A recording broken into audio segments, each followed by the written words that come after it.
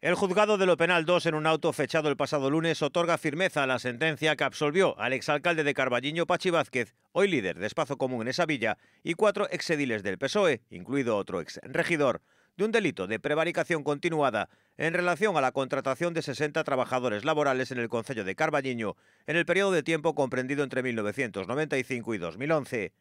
El órgano judicial que acogió la vista oral en noviembre y diciembre del pasado año procede al archivo de las actuaciones al tratarse de una sentencia absolutoria en la que la Fiscalía ha optado por no recurrir.